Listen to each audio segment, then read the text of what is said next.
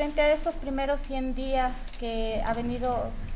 eh, gobernando eh, Guillermo Lazo, nosotros hacemos nuestro pronunciamiento ya que eh, no se ha hecho una adecuada reactivación económica, los parámetros que en este caso que vive la población no son adecuados. Frente a esto hay, se dice que de, siete, de cada 10 personas, 7 viven en el desempleo. Ha crecido realmente la pobreza a un porcentaje del 5.2, por lo cual hacemos esa demanda al gobierno que se cumplan las promesas de campaña como era en este caso el libre ingreso para nuestros jóvenes, esos créditos al 2% con un eh, plazo de 30 años, realmente no vemos que haya ese incremento salarial y entre otras cosas que había demandado el gobierno en estos primeros 100 días de trabajo. A la vez, que se cumpla con el derecho del 6% del Producto Interno Bruto para el sector educativo, la vigencia de esa ley orgánica de educación intercultural, como también nos unimos a esa problemática que tienen las universidades en esta ley orgánica de educación superior, a la vez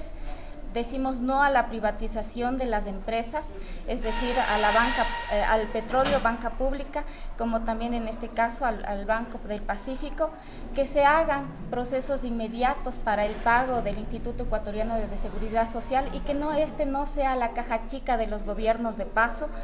El cobrar el 1% a las empresas, en este caso eh, grandes empresas,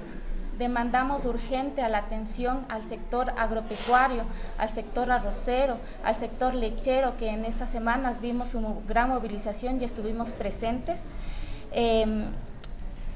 Respaldamos a las comunidades indígenas que se oponen a la explotación minera de sus territorios, como también a la derogatoria del decreto a la que faculta el incremento mensual de los combustibles, el congelamiento de los precios, en este caso también del pasaje del transporte público. Realmente son procesos que atañen la economía de, de nuestro sector eh, económico, de nuestro pueblo. Si bien hemos visto esas olas realmente de,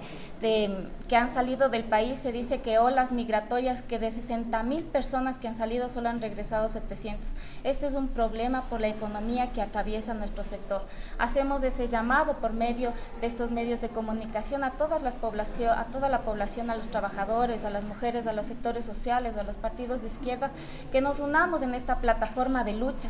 Ah, junto a esto tenemos una marcha el 9 de septiembre junto a las universidades, tenemos la marcha el 15 de septiembre frente al, eh, junto al Frente Unitario de Trabajadores para hacer la vigencia de nuestros derechos.